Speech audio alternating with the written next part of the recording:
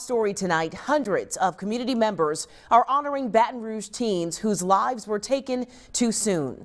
NBC Local 33's Anum Siddiqui attended Brusly High's candlelight vigil for Maggie Dunn and Caroline Gill. She joins us now with the story. Anum.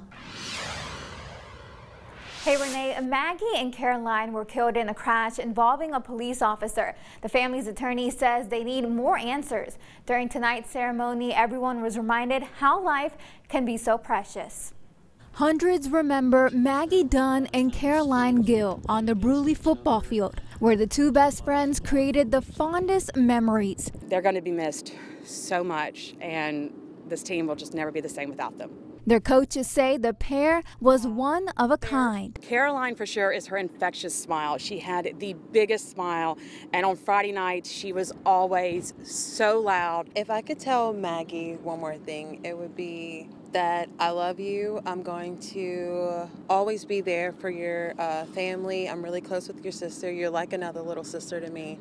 On New Year's Eve day, the teens were killed in a crash involving a police officer. Addis police officer David Cauthron was on a pursuit trying to stop Tyquel Zanders, who reportedly stole a car in East Baton Rouge Parish. The pursuit led to a crash on LA 1 in Brusly, where the girls were hit and died. Caroline's brother Liam was in the back seat of the car. He's fighting to stay alive. Officer Cauthron and Zanders have been arrested. Completely and absolutely innocent lives were lost.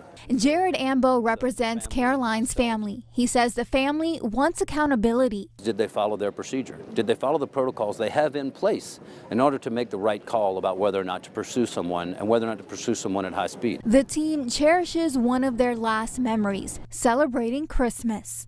All of us together in that last moment, I'm gonna like take that with me forever. Family members say they are in dire need of blood donations for Liam, Caroline's brother. Anyone interested can check with Brusly High or Our Lady of the Lake for more information. Anum Siddiqui, NBC Local 33 News. All right, and um, such a tragic story, but thank you for that report in studio tonight.